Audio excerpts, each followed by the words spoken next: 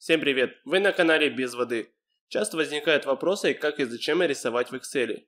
Сегодня я расскажу про первый способ, и его можно отнести к детско-развлекательному.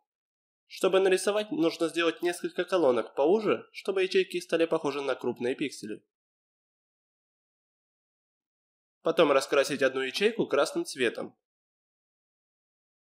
Затем уже выделить сколько угодно большие области мышкой и нажать клавишу F4.